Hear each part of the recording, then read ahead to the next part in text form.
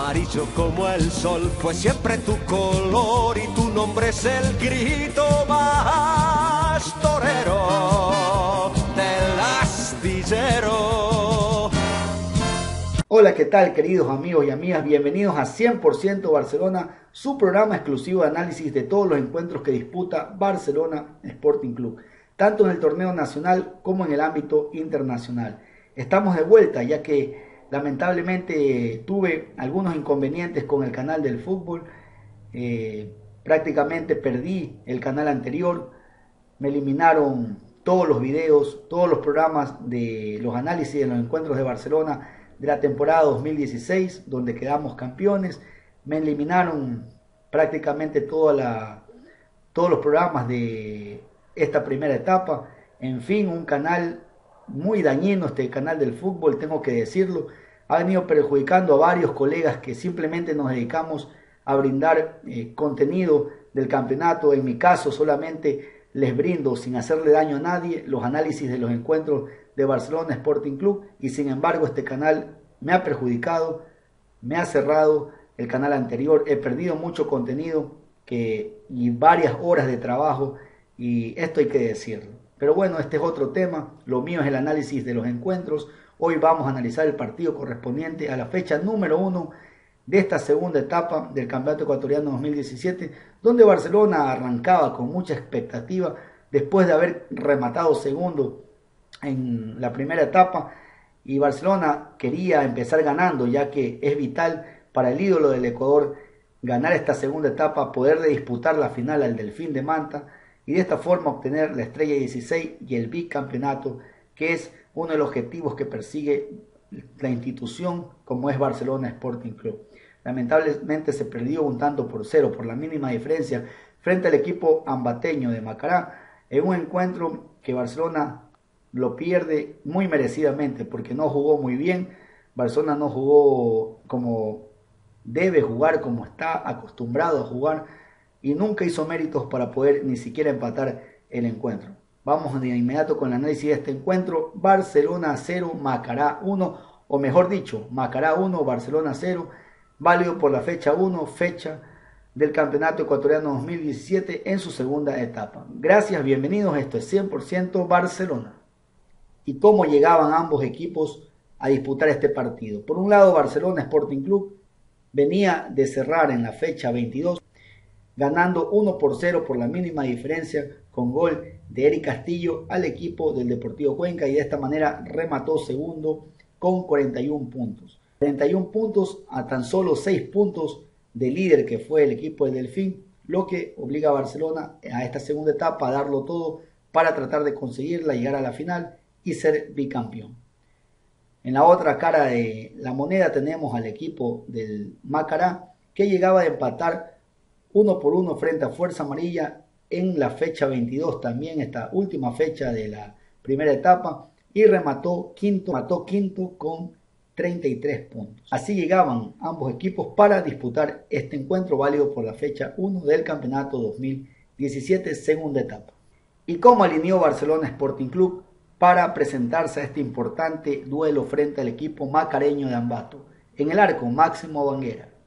Línea de cuatro, Lateral por la banda izquierda, el jugador Beder Caicedo. Esto fue una verdadera sorpresa, ya que hasta lo último contemplábamos la posibilidad de que Velasco juegue por la izquierda y Tito Valencia juegue por la derecha. Recordemos que Mario Pineida todavía se está recuperando una lesión que preocupa. Se necesita al Pitbull, un jugador bastante importante dentro del esquema titular que maneja Guillermo Almada, sobre todo en el bloque defensivo. Eh, la pareja central es conformada por Darío Javier Aymar junto con Javier Arriaga y lateral por la banda derecha Pedro Pablo Velasco.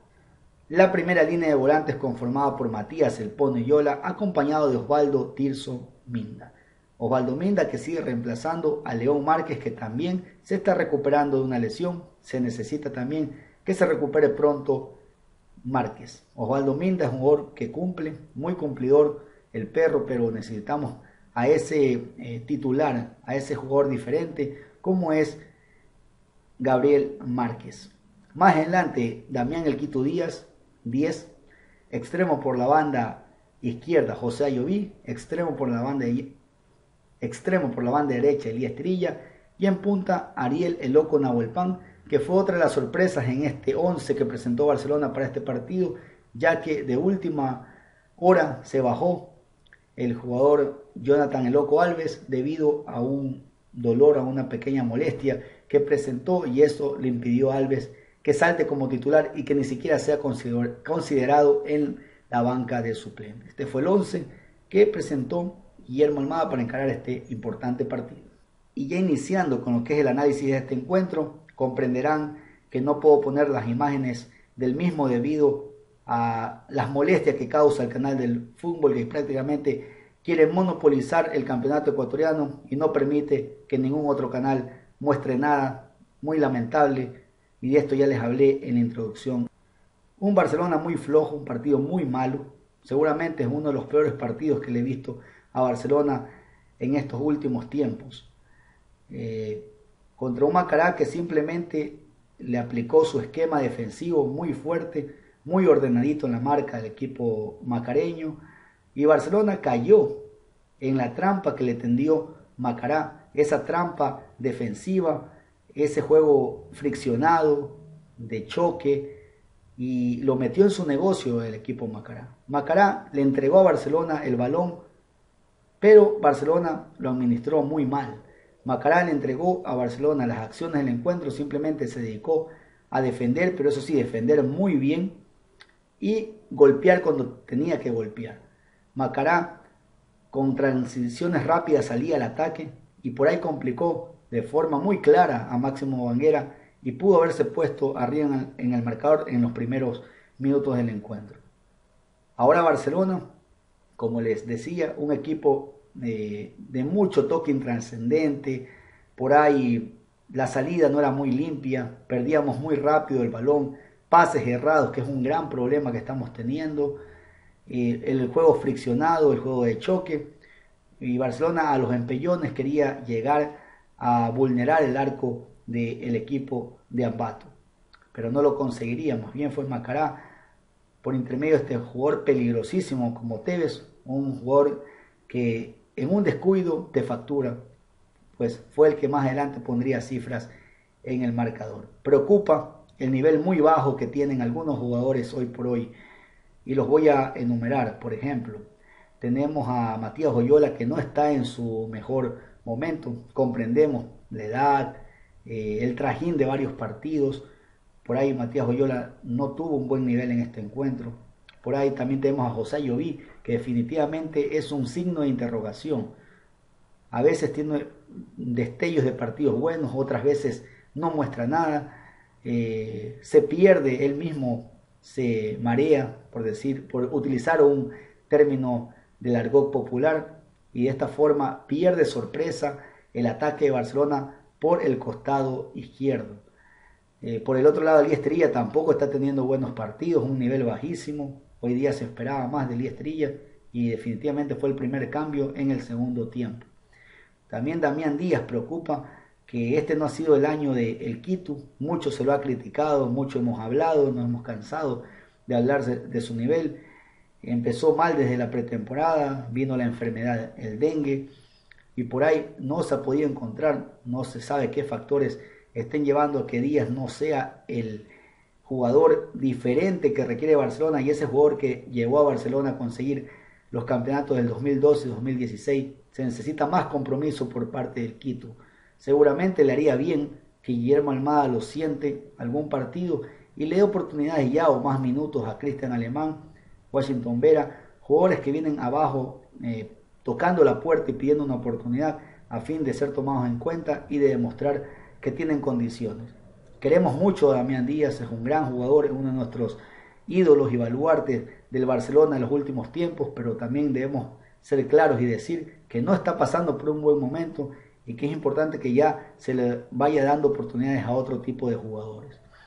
Ariel Nahuelpan, que sin duda no es un, el reemplazo eh, de Jonathan Alves. Jonathan Alves es un jugador que viene en racha, así como lo criticábamos el año pasado porque se le había mojado la pólvora. Hoy por hoy es un jugador que viene en racha y lamentablemente se bajó por una molestia en los últimos momentos y Ariel Nahuelpan no encuentra la solución. Hoy tuvo un partido muy malo, el loco se dedicó a golpear, a empujar, a pegar, por ahí la sacó barata con una amarilla, pudo haber sido una roja, tiene que tranquilizarse y pensar que perjudica a Barcelona su actitud.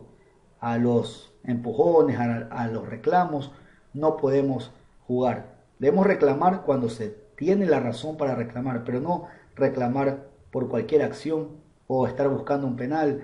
Y eso es lo que critico hoy de Ariel el Loco Nahuelpan. En fin, un partido muy flojo de Barcelona, flojísimo diría yo, y una victoria de Macará muy merecida. Es más, como dije en la introducción del programa, para mí Barcelona ni siquiera merecía empatar con el juego que estaba teniendo. Muy malo, un partido flojo, flojo, flojo, y del cual seguramente ya Guillermo Almada ha sacado muchas conclusiones que pondrá en práctica para mejorar de cara a los partidos que se vienen.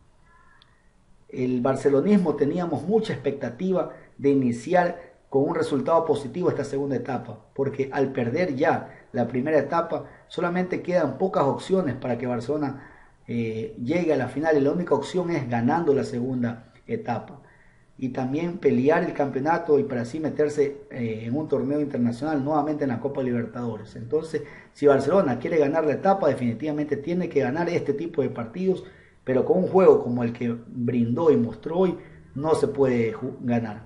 Del arbitraje, Guillermo Guerrero no diré absolutamente nada, me parece que no influyó en las decisiones del partido, pitó un, partido bueno, no digo ni regular, ni malo, ni tampoco eh, muy bueno o excelente. Un partido bueno en el cual no incidió en ningún tipo de acción y pitó de manera, diríamos, correcta. Al minuto 34, Osvaldo Minda recibe la primera cartulina amarilla luego de cometer una falta. Sería la primera tarjeta para el cuadro amarillo, el equipo canario. Al minuto 37 llegaría el gol de Juan Manuel Tevez luego de un centro largo por la banda derecha. El jugador Pedro Pablo Velasco pierde la referencia de la marca de este jugador Tevez que cabecea prácticamente solo a placer y vence al jugador, al arquero Máximo Banguera. Justamente un minuto o dos minutos antes de esta acción de gol, eh, Caicedo se pierde la acción más clara del partido, diría yo, que tuvo Barcelona, prácticamente con el arco de frente, eh, le pega un poco mordido, tenía más opciones, podía abrir por la izquierda para Damián Díaz o por derecha para Elías Esterilla, sin embargo tomó la decisión de rematar al arco y de esta forma pues se perdió una importante y una brillante opción de abrir el marcador en Ambato y un minuto o dos minutos después, más tarde, llegaría el gol de Juan Manuel Tevez que abre eh, las cifras en Ambato y que a la postre sería la victoria, le daría los tres puntos al equipo macareño. Al minuto 39 recibiría una tarjeta amarilla Galo Corozo de Macará, luego de cometer también una falta fuerte. Ya en el segundo tiempo, el minuto 50, registramos otra nueva tarjeta para el equipo ambateño, esta vez para Ronald Champan.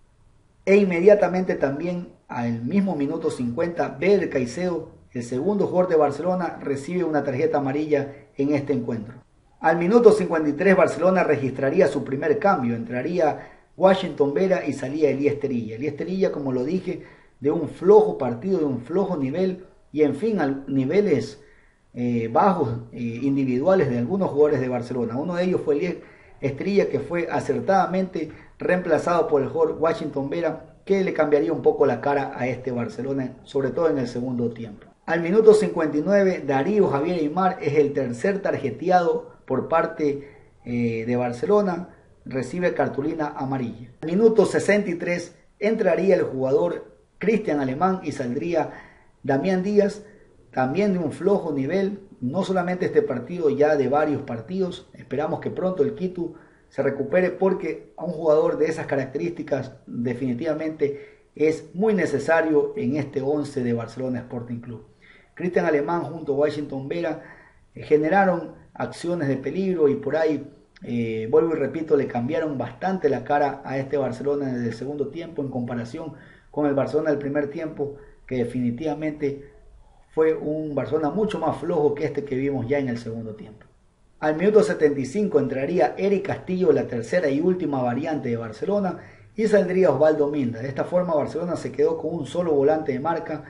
Eh, el Ponio Yola se quedaría en esta posición y de esta forma buscaría con todo el empate un empate que jamás llegó. Un Barcelona que se dedicó a pelear, a empujar en los últimos minutos en vez de tratar de generar jugadas o de conectarse con el bloque ofensivo, de hilvanar verdaderas llegadas y ataques o verdaderas oportunidades de gol, se dedicó a golpear, se dedicó a empujar, cayó en el juego y en la trampa que le propuso Macará. Y Macará, muerto de la risa, porque de esta forma caía Barcelona en la trampa y Macará dejaba que pasaran los minutos y de esta forma también se llevó los tres puntos de este importante encuentro.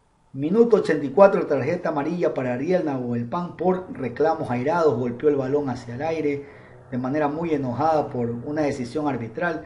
Ariel Nahuelpan, para mi criterio, le sacó muy barata por su comportamiento en la cancha, hoy dedicándose a, gesticular, a pelear, inclusive a hablar eh, de forma airada a compañeros del equipo macareño. Por ahí debió haber visto hasta una segunda amarilla. Tiene que controlarse Ariel Nahuelpan porque no sabe el prejuicio que le puede causar a Barcelona. Imaginemos que Jonathan Alves no se recupera en, para el siguiente encuentro de Barcelona frente a Fuerza Amarilla y Ariel Nahuelpan se hace expulsar, perdemos peso arriba, nos quedamos sin un 9 de área y todas esas cosas en el momento de calentura estos jugadores se olvidan del prejuicio que le hacen a Barcelona Sporting Club. Y finalmente al minuto 89 el, el arquero Cabral del Macará recibiría una tarjeta amarilla por reclamos, por quemar tiempo, ya también era una tarjeta que se caía de madura. De esta forma terminaría este partido muy trabado, muy peleado por parte de Barcelona, donde tuvo la iniciativa, pero cayó en la red, en la trampa que le tendió Macará. Una victoria muy buena para el equipo mateño y un mal comienzo para Barcelona Sporting Club de cara a lo que es eh, su paso por esta segunda etapa. Deberá corregir mucho Guillermo Almada eh, porque lo que hoy vimos definitivamente a ningún barcelonista nos gustó.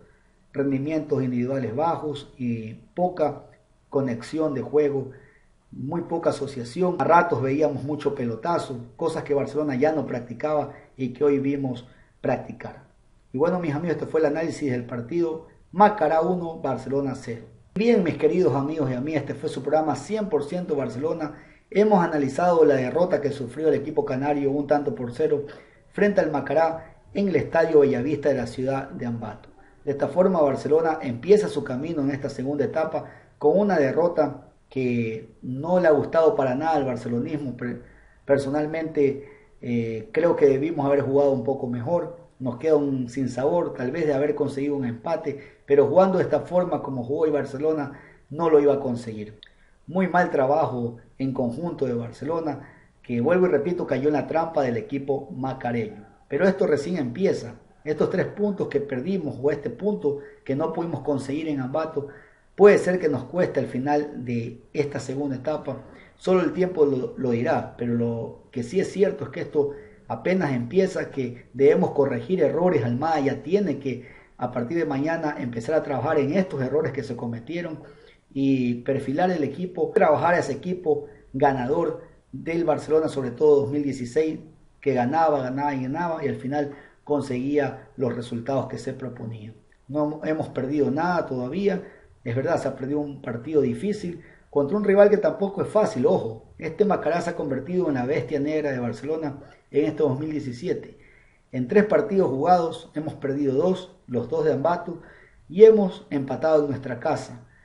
Eh, de esta forma tampoco es que hemos jugado con cualquier equipo, estos equipos también juegan, pero no podemos excusar también los problemas que ya les he manifestado, los problemas que he visto en algunos jugadores. Vamos a seguir apoyando a nuestro club, vamos a seguir con la bandera arriba o la bandera en alto, no podemos eh, desmoralizarnos por este resultado, sí se debe corregir, sí debemos ser críticos, pero a la vez tampoco debemos dejar de apoyar. Esto es Barcelona, eh, esto es una gran familia, la dirigencia está haciendo un gran trabajo, tenemos un excelente cuerpo técnico, tenemos una plantilla de jugadores que no la tiene ningún equipo del país actualmente, tenemos mucho recambio y seguramente vamos a corregir y vamos a mejorar. Entonces vamos a seguir apoyando. Se necesita en el siguiente partido frente a Fuerza Amarilla que el estadio se llene.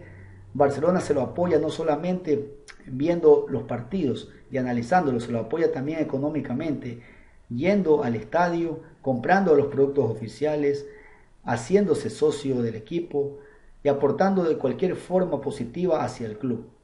Te invito, amigo, hermano barcelonista, a que vamos y apoyemos tanto moralmente como económicamente a nuestro club.